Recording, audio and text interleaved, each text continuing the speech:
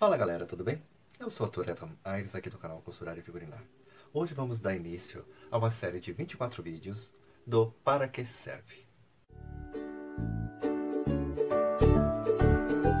Para que serve essa quantidade imensa de calcadores? Se você ficou curioso em saber para que serve, se inscreva no nosso canal e nos siga nas nossas redes sociais, que o link estará aqui na descrição deste vídeo. Para que serve? Para que serve é uma série que eu tenho no Instagram, que no qual eu apresento vários produtos conhecidos e não conhecidos por nós. E não seria diferente quando eu postei lá o Para que serve calcadores, a galera me pediu para poder fazer uma série em vídeos explicando para que serve cada um dos calcadores. Eu tive que ficar umas duas semanas e meia estudando, catalogando, testando cada um desses calcadores para poder fazer a série. Então, eu separei por grupos para ficar mais fácil, né? Então, de 36 calcadores, mais ou menos, que eu tenho aqui, renderá 24 vídeos neste início. Por quê? Eu digo neste início. Porque calcadores tem uma infinidade. Eu tenho esses aqui, então esses aqui será o início da série. Quando eu for comprando mais calcadores ou recebendo mais calcadores, eu continuarei a série para que serve. Então, inicialmente, teremos 24 vídeos, mas com certeza poderão aumentar. Vamos para o primeiro grupo de hoje? Pronto, galera. Esse aqui é o calcador de franja. Ele tem essa haste central bem alta para que possamos utilizar o zigue-zague e criarmos as nossas franjas. Bora lá para ver para que serve? Prontinho. Já posicionei o calcador de haste larga na haste de engate rápido. Já verificamos a posição da agulha, se está passando de um lado para o outro, porque é um zigue-zague. Agora, vamos costurar ah, eu estou utilizando aqui o meu maior ponto de zigue-zague na largura meio. Por quê? Porque ele é quase que nem fosse um ponto acetinado. Tem que ficar um zigue-zague bem próximo um do outro. Então as pontadas são bem pertinho uma da outra. Após terminar aqui essa costura, eu vou mostrar como que ficou o ponto para vocês.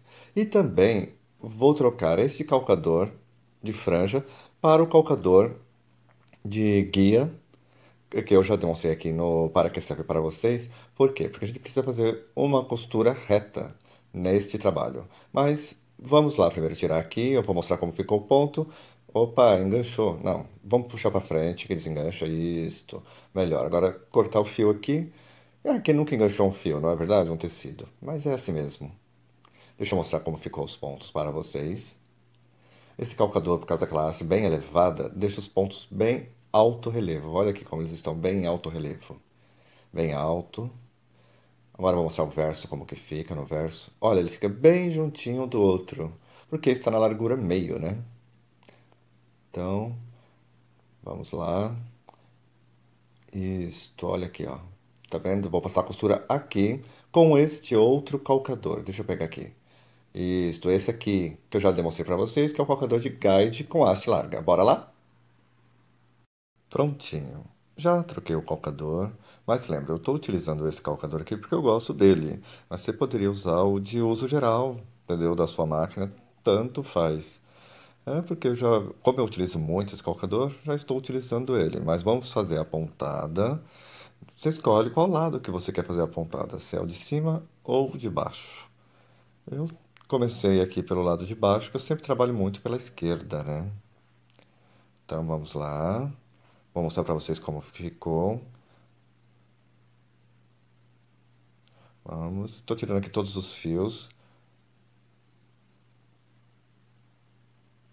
Calma lá. Hum, aqui. Viu como que ficou? A pontada foi toda aqui. Agora eu vou pegar e cortar todinho até lá na frente. Já cortei todas as pontinhas. Olha como que ficou as franjas. Fica muito legal para adereçar as peças. Agora eu vou tirar todas essas pontas daqui de trás. Isso.